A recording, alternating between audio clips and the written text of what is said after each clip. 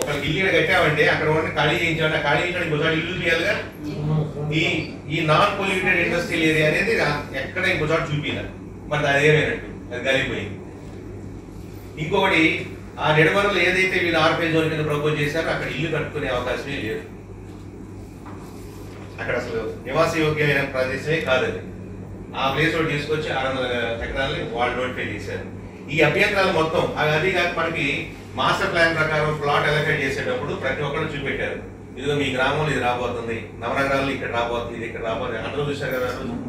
ఎక్కడ ఏ పార్కులు వస్తున్నాయో ఎక్కడ ఏ స్కూల్ వస్తున్నాయో ఎక్కడ ఏం వస్తున్నాయో అని. మరి ఇప్పుడు మార్చినప్పుడు మళ్ళీ తిరిగి మనకి ఎందుకు చెప్పాల? అసలు మనం భూమి ఎవరికి ఇచ్చాము. గవర్నమెంట్ ఏం సంబంధం అది? అది వస్తున్నా వస్తున్నా. సిఆర్డీ వాళ్ళు? ఆ రోజు మనకి ఇట్లాగే మ్యాప్ వేశారు ప్రతి ఊళ్ళోనూ. ప్లాట్ చూడండి. ఇవన్నీ చూపెట్టారు. ఎక్కడ ఇది వస్తుంది ఇక్కడ వస్తుంది ఇక్కడ వస్తుంది అన్నారు ఈ రోజు ఇది మార్చాము అంటే ఆ రోజు మనకి చెప్పిన దానికి మోసం చేయడమా కాదా? మోసం చేయడమా కాదా? కాబట్టి దీన్ని మేము వ్యతిరేకిస్తున్నాం. అలాగే సిఆర్డిఏ వేరు రాష్ట్ర ప్రభుత్వం వేరు. రాష్ట్ర ప్రభుత్వం మన రాష్ట్రం మొత్తానికి వాళ్ళకున్న రాజకీయ ఆకాంక్షలో హామీలో ఏదో ఒకటి పెట్టి దానికోసం ఏదో ఒకటి చేసుకుంటుంది.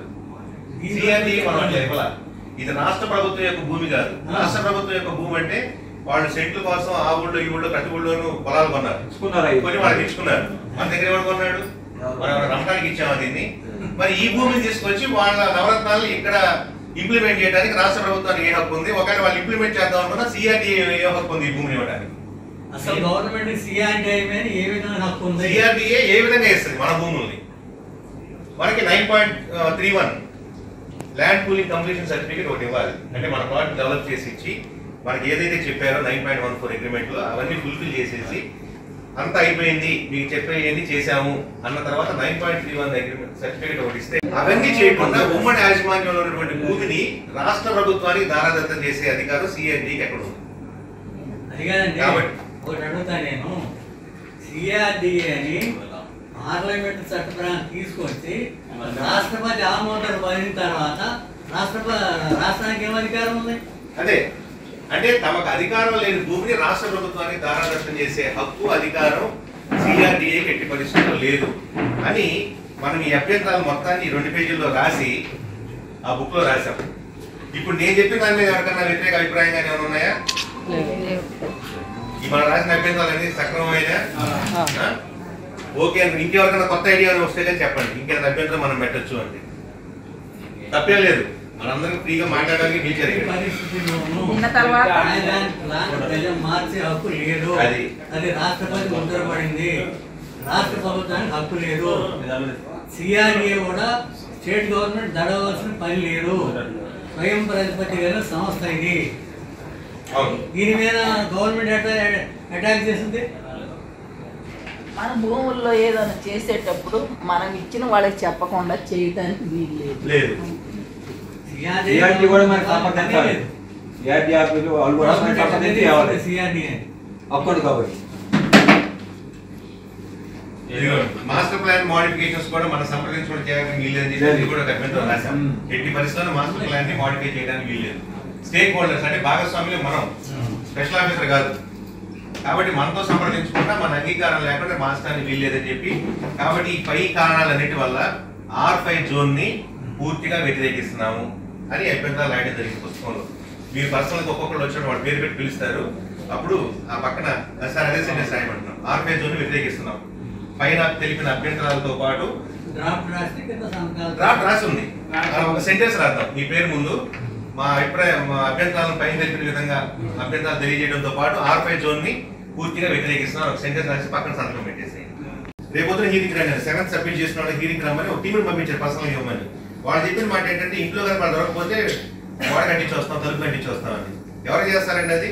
డెకాయిడ్స్కో స్మగ్లర్లకు క్రైమ్ చేసిన వాళ్ళకి రాస్తారు. ఇంటికి నోటీస్ ఇచ్చి రావడం ఫార్మర్స్ నోటీస్ కంటించి వస్తారు ఒకసారి ప్రాసెస్ మొత్తం చూడండి. రాజధాని కోసం భూములు ఇచ్చిన రైతులు ఎంత కించపరుస్తున్నారో వాళ్ళ మనోభావాల్ని అసలు ఏ విధంగా ఆడుకుంటున్నారో మీరు. విచారణ.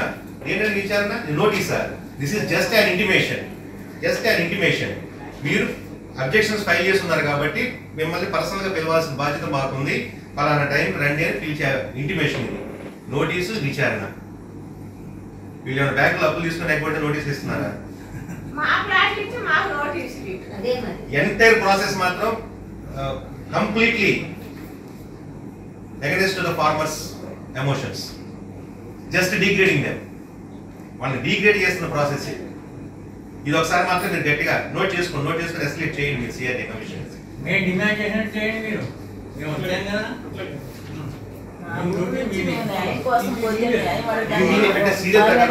నోట్ చేసుకొని పిలుస్తారని. తర్వాత మళ్ళీ ఎవరు ఎవరు తీసుకోండి మళ్ళీ. మళ్ళీ ఎవరు తీసుకోండి.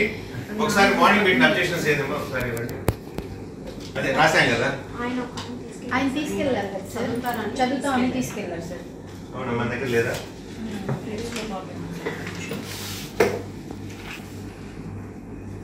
ప్రతిపాదిత ఆర్ ఫైవ్ జోన్ పై అభ్యంతరం పర్లేదు పర్లేదు పర్లేదు సార్. కూర్చోండి డ్రాఫ్ట్ గెజెట్ నోటిఫికేషన్ నెంబరు పద్నాలుగు పది డాష్ జీ డాష్ పదకొండు పది.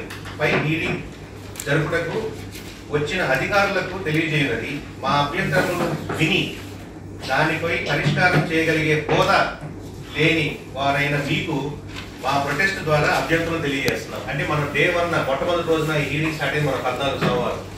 ఆ రోజు ఉదయం మేము చెప్పింది ఏంటంటే సిఆర్డీఏ కమిషనర్ కానివ్వండి కమిషనర్ కన్నా ఎక్కువ హోదా ఉన్న ఆ సమానమైన హోదా అంతకన్నా ఎక్కువ హోదా ఉన్నాడు మాత్రమే ఇది వినాలి. మీరందరూ కుదరదు మీకు అధికారం లేదని మనం రాయడం జరిగింది ఆ రోజు.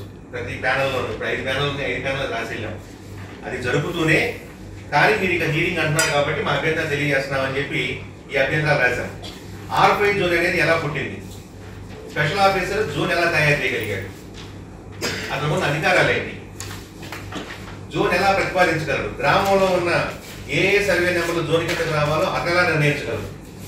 మీకు అందరూ తెలిసే ఉంటుంది ఐదు ఊళ్ళలో ఆ మందడం ఐనోలు నిడమర్రు కురగల్లు ఈ ఊళ్ళలో ఈ కృష్ణాయపాలెం. ఈ ఐదు ఊళ్ళలో ఆర్ఫై జోన్ అని చెప్పి ఈ హౌసింగ్ ఇవ్వడం కోసం జరిగిన తతంగం ఏంటంటే ఇరవై ఆరో తారీఖున ఈ స్పెషల్ ఆఫీసర్లు స్పెషల్ ఆఫీసర్లు వేరు సిఆర్డిఏ వేరు. స్పెషల్ ఆఫీసర్లు అనేవాళ్ళు మనకు పనిచేసేవాళ్ళు కలెక్టర్ కింద పనిచేస్తారు. మనకి ఎంతమంది ఏంటంటే సర్పంచి village development office village executive office వాళ్ళు ఉండేవాడు ఇప్పుడు మనకి ఎలక్షన్స్ లేవు ఎలక్టెడ్ బాడీస్ లేవు కాబట్టి స్పెషల్ ఆఫీసర్ ఒకరు వేశారు. వాళ్ళు పనిచేయాల్సింది కలెక్టర్ కింద. వాళ్ళకి సిఆర్టీకి సంబంధం లేదు. ఈ స్పెషల్ ఆఫీసర్లు ఇరవై ఆరో తారీఖున వాళ్ళతో వాళ్ళు ప్రపోజ్ చేశారు ఐదు స్పెషల్ ఆఫీసర్లు ఈ తొమ్మిది వందల ఎకరాలని ఆర్పై జోన్ కింద మేము ప్రతిపాదిస్తున్నామని. ఇరవై ఆరు వాళ్ళు ప్రతిపాదించారు ఇరవై ఐదు సిఆర్టీ వాళ్ళు నోటిఫికేషన్ ఇచ్చారు. అంటే దీని వెనక జరిగింది ఏంటో ఒకసారి మీరు గమనించండి. రెండు రోజుల్లో వాళ్ళకి ప్రతిపాదించే అధికారమే వాళ్ళకి లేదు. ఈ భూమి మనకి సిఆర్డీఏకి ఒప్పందం ప్రకారం కింద ఉమ్మడి యాజమాన్యం కింద ఉంది మనకి. స్పెషల్ ఆఫీసర్ల కింద లేదు. సిఆర్డీఏకి ఇచ్చాం మనం. సిఆర్డీఏ ప్రమేయం లేకుండా స్పెషల్ ఆఫీసర్లు సిఆర్డీఏకి ఎలా ప్రపోజ్ చేస్తారు. దాని మీద సిఆర్డీఏ ఏమైనా డెసిషన్ చేసుకొని గెజెట్ నోటిఫికేషన్ ఎట్లా ఇస్తుంది? కాబట్టి అది తప్పు. ఆ స్పెషల్ ఆఫీసర్లు అనే వాళ్ళకి మనం రిక్వెస్ట్ చేసి మనకి వినకపోతే కోర్టు ద్వారా ఆర్డర్ తెచ్చుకొని గ్రామ సభలు పెట్టుకున్నాం. ఆ గ్రామ సభలు పెట్టిన స్పెషల్ ఆఫీసర్లే.